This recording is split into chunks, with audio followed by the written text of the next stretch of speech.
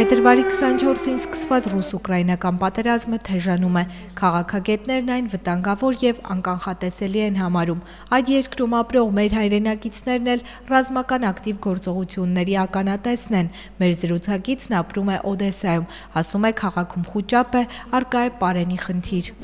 Սրանով խփում են միշտ տարբերություն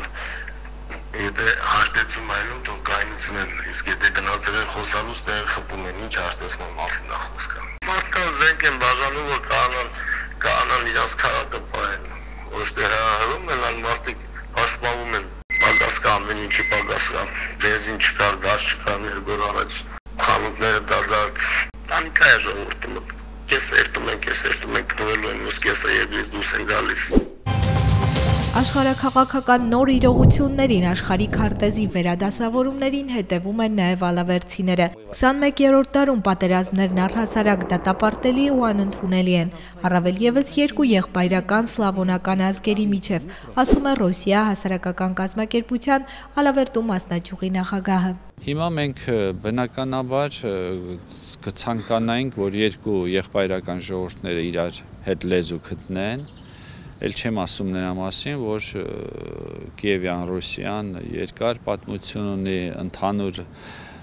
մշակույթ ունեն, ընդհանուր անցած հաղթանակներ, պարտություններ եւ այ դա պիտի հիմք հանդիսանա, որ նրանք կարողանան միասին հասկանան թե ինչ են ուզում եւ ով է այն թշնամին իսկական թշնամին, որը թաքնված գործում է եւ և ապահովում է զինամթերքով ավելի կարծես թե կրակի մեջ բենզին լցնելով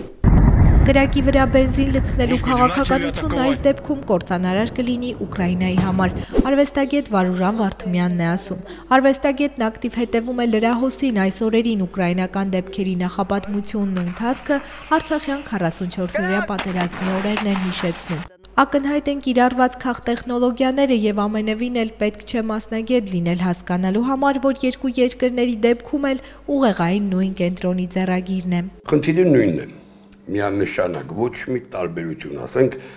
հիմքում դրված Արցախյան խնդիրը Լուգանսկի ու Դոնեցկի ազգերի ինքնորոշում Վարուժան Վարդումյանն ասում է, թե ուկրաինական մայդանային հեղափոխությունն ու կիրառված քաղտեխնոլոգիաները նպատակ ունեն տարածաշրջանում թույլաtsնել Ռուսաստանին, թույլաtsնել տնտեսապես ու ռազմականապես։ Նման խնդիր հնարավոր է լուծել միայն պատերազմի միջոցով, մարդկային անմեղ կյանքերի կորստով։ Ու ցավոք մինչև հիմա շատերն իսկապես հավատում են հեղափոխությունների գաղափարին, այն դեպքում, երբ ակնհայտ է, որ աշխարհը պարզապես վերաբաժանվում է ուժեղների միջև, շարունակում է Վարուժան Վարդումյանը։ Հարդ որոշողներն ուրիշ են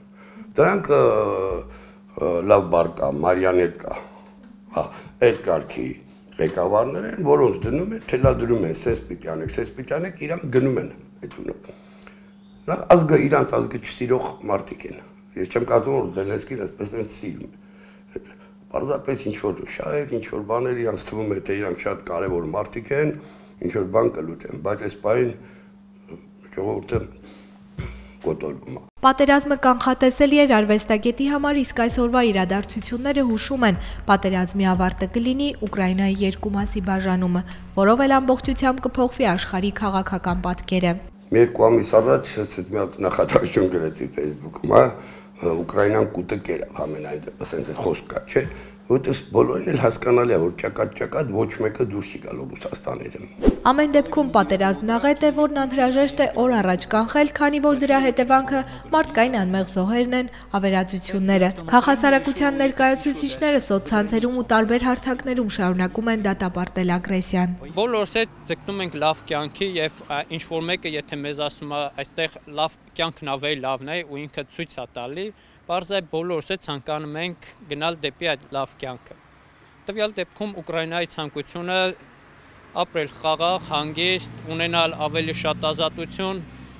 որը Ռուսաստանը չեմ կարծում, որ ինչ որ ձև փորձելա կոմպենսացնի ու լրացնի, չթողնի, որ դրանով հեռանա։ Ընդհակառակը ասելով, որ խրիմ է իմնա,